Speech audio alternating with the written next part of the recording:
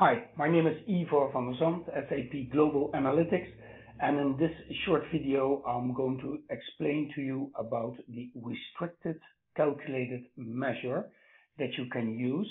On the screen you see BusinessObjects Cloud Wave 24 and the data set that I'm going to use is a very simple one I just created.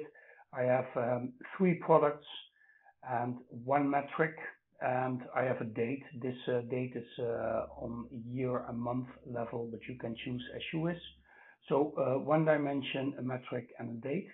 And I've put that in a model uh, that I'm now going to use showing you the restricted calculation. So if I take a, um, create a simple chart um, displaying my measure, so the metric uh, together with uh, the time, for example,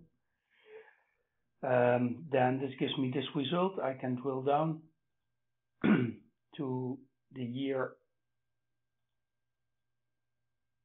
and the quarters.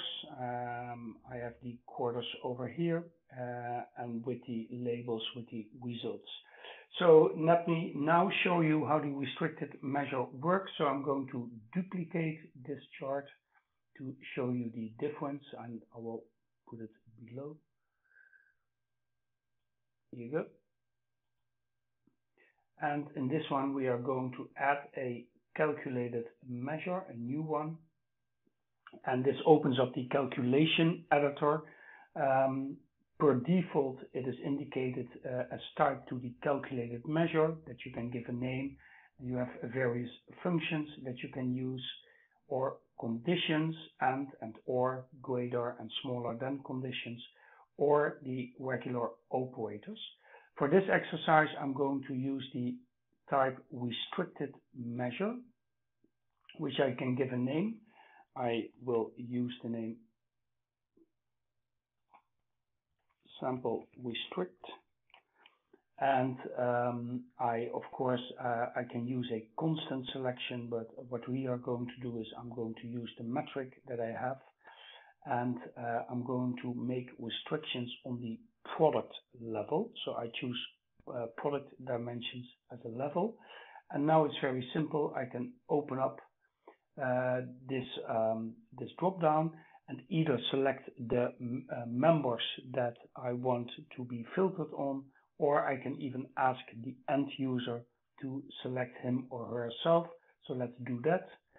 So I'll give that a name, calculation input uh, uh, one automated product and the values that I want my end user to choose from are uh, A, B, and C, all three of them.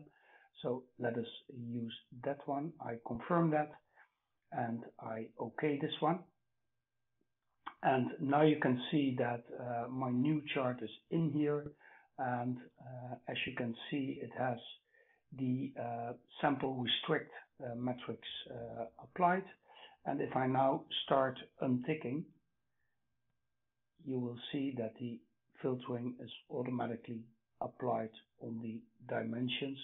So this is how the restricted calculated measure works. Thanks for your attention.